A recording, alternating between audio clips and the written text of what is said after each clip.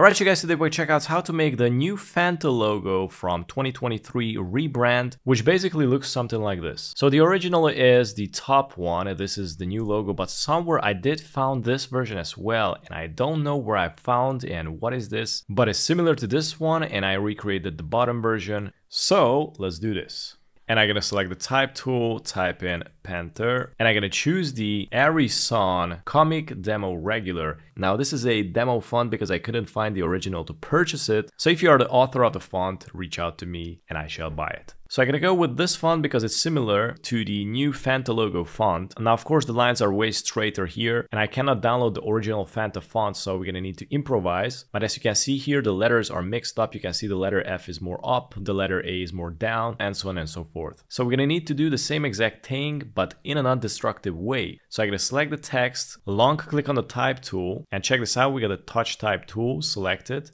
and select one of the letters. I'm gonna go with the letter A and look at this. You can customize it, drag it up or drag it down, however you like. And you also can, by the way, rotate it from here and you can select all the letters one by one and customize them. I remember I did a tutorial back then with this and designers came to me that it is useless. So here you can see that it's going to be useful quite a bit. Okay, after you're done with the composition, we're gonna go here to the appearance and let's go down here to the corner and you can see this little square. Click on it. This is by the way the stroke and you can see up here we got the stroke and down underneath you got the fill. All you need to do is drag and drop the stroke on under the fill, select the fill and change the color to white. And let's go to the stroke and I'm gonna change the stroke color. We got a special blue here. I'm gonna click on it and I'm gonna increase the stroke thickness. Now let's go to the appearance and click here at the characters. Click on it and let's go to the effects. Go up to the 3D materials. Let's go to 3D classics and select rotate classic.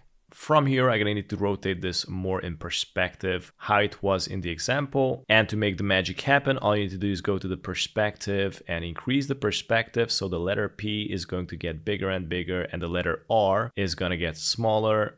Click OK. Let's go again to the appearance. Make sure that you're on the characters. Let's go to the effects again. Go to distort and transform and select the transform.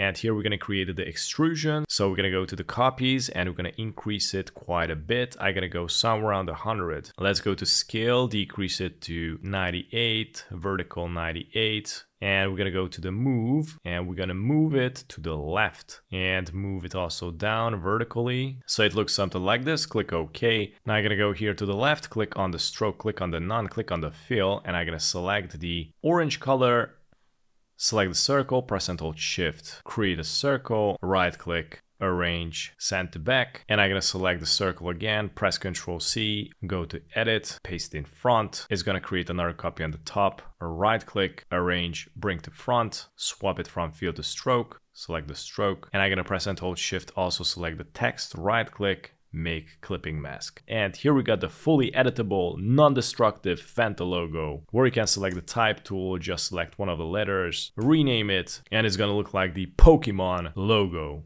So this was it guys, this is how we make the new Fanta logo in Illustrator. Thanks for watching.